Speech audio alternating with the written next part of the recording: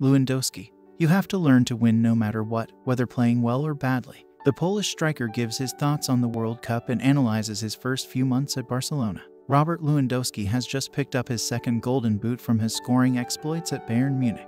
Now with Barcelona, his goal-scoring instinct remains intact. The Pole explains what his first months at Camp Nou have been like and the aspirations he has for Qatar. Q, this is your second gold boot. What does it mean to you? A. It means a lot to me because I know how tough it is to score big goals and so many goals. I am very happy and very proud to win this golden boot a second time in a row, but it's not only about my goals, but also about the goals of the team. Q. Are you thinking about the third golden boot because Haaland is also very strong at the moment? Hey, I never think about this. This is something extra at the end of the season. In my mind, I don't think about scoring lots of goals just to win this award. I always try to do my best, not only to score goals but also to help my team. At Barca, it's not only about me scoring goals, but also about my movement on the pitch. So many people watch me and say that if I'm scoring, I'm playing well and if I'm not, I'm playing badly, but that's not the case. The style at Barcelona is different and I knew that when I came here, I had to adapt and show I was capable of doing more than just scoring goals. Q, the World Cup is around the corner. Is this international break a good thing or a bad thing?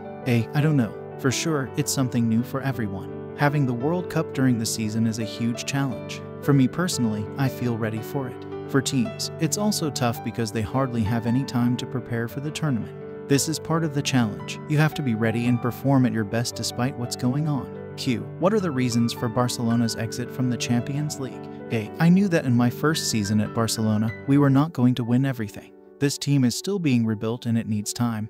This is part of the process. We should be playing the next round of the Champions League, but we have learned a lot, especially because we have a lot of young players. We made a few mistakes and at this level, you must always be ready. It doesn't matter how you do it, you need to learn how to win. It doesn't how good or how bad you play because at the end of the day, the three points are the most important.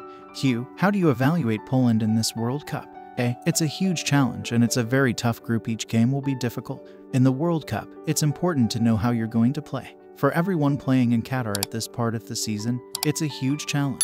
We have to be ready for this. We have to fight from the first minute and it doesn't matter how hard it's going to be, you have to show your best. Q. You play Argentina as the group. Do you think they're one of the favorites? A. Yeah. I think Argentina with Messi are one of the favorites to win the World Cup. They haven't lost in 30 games. They play well and you can see they are a really good team. They have a plan, which they are following as a group. Q, have you spoken to Messi about a possible return to Barcelona? Would you like to play with him? A. Messi is absolutely brilliant with the amazing passes he plays to the striker. If you think about Messi, he has this brilliant connection with strikers. He knows how to put the ball into the box, between the lines. He's the best in the world at that. I don't know what's going on right now, but for a striker it would be a dream to play with Lionel Messi for sure. Q, it's been said that football owes Messi the World Cup. Do you agree? Hey, If look at football for the past 10 15 years, the main two figures have been Messi and Cristiano Ronaldo, and in the end, if you think about who deserves to win this World Cup, these two names always pop up. They are legends. But on the flip side, this is football and you can never say what is going to happen because it's a dramatic and unpredictable game. But in Messi's case, it's impossible for his achievements to be replicated as his amazing story continues. Now he's dreaming to win the World Cup. For him, that's the big challenge. He wants to now win the World Cup with Argentina, but this is a World Cup and you can never know what is going to happen. Q. What do you think about the Spanish national team? A. I think that even though they have a lot of young players, they are still one of the favorites to win the World Cup. They could reach the semifinal or the final. For two years, they've been playing well and they have the potential, but as always, this is the World Cup and you need something more. You need luck. You need to be in the right position in the right moment, especially given this year teams don't have time to prepare the first game, they have just one week and not three or even four like in previous World Cups. Q, you played against Spain a year ago. Do you think the team has grown over the past year? A, they have grown up. Game by game, they have got better. Even since the European Championships, they've improved. Since then, they qualified to the World Cup. They have shown they can play not only beautiful football, but also effective football. With all this potential, they can prove themselves by winning the World Cup. Hugh, you play every day with young players like Pedri and Gavi. Do you think they can be the surprise of the tournament? A, I think it's their time. I think they are going to take a huge step forward not only at the World Cup but also this season. For young players, their first big tournament not only gives them experience, but it also gives them a kind of new feeling, a new power, and new self confidence. For these young players, the World Cup will help them progress with their performances, and Pedri and Gavi will take this next step. Q, Messi, Ronaldo, De Bruyne, Neymar, Mbappe, Lewandowski, who will be MVP of the tournament.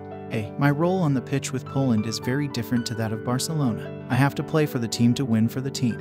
For me, it will be a huge challenge to win it because we don't attack a lot and we don't have loads of chances to score goals, so for the striker, it's not the easiest.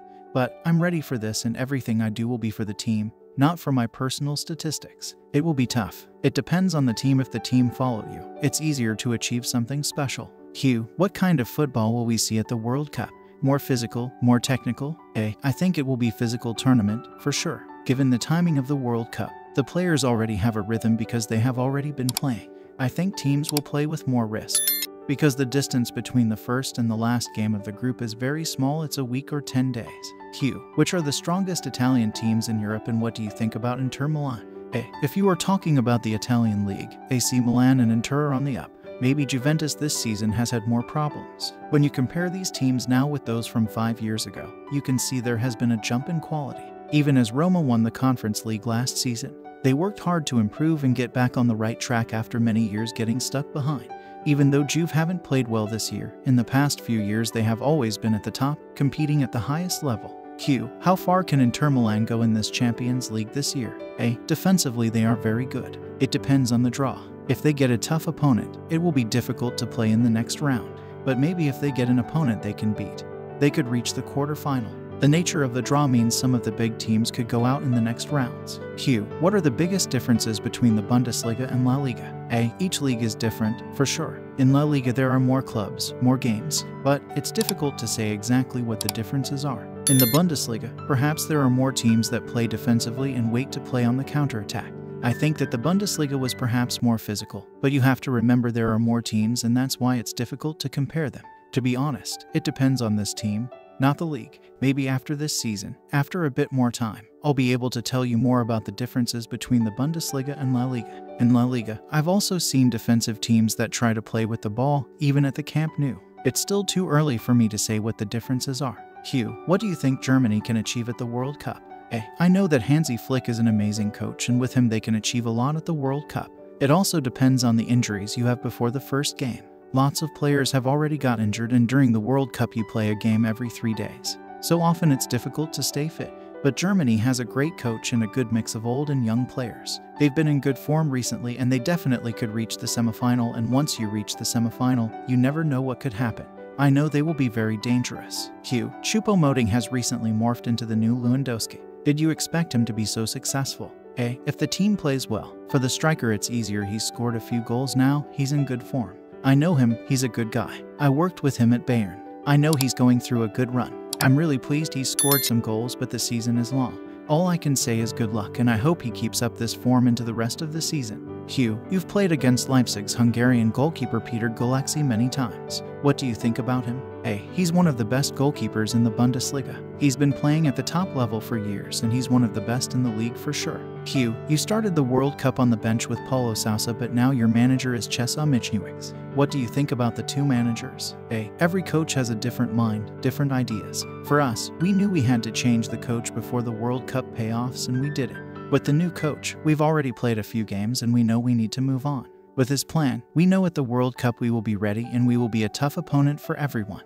Hugh, you came to Barcelona at a time when it was rebuilding. When will you see Barca back to the level it was in the old days? Could it be in a few seasons? A. I think that even in a few months, you can see the progress we've made at Barcelona. At the beginning of next year, we can show our better performances and we can grow up as a team.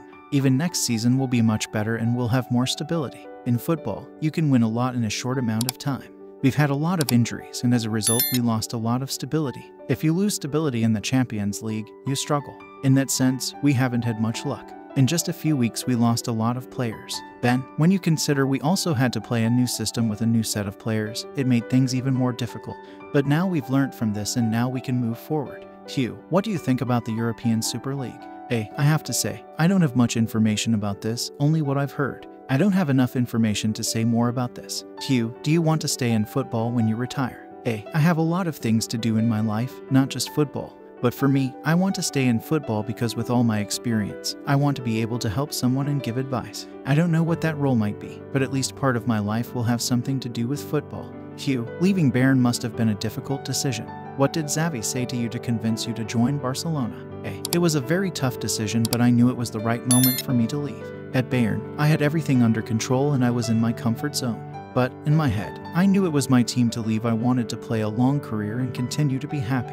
When I started to talk to Barca, I knew for my personal and footballing life, the best decision was to move to Barcelona to play in La Liga. It was always my dream to play in La Liga. Also, I didn't want to play my entire life just in one league, and that was another reason. Even after I won everything at Bayern, I will always proud and grateful for that. But my head was clear and I wanted to move on to Barcelona. I have a new happiness now. Q, how many goals are you going to score at the World Cup?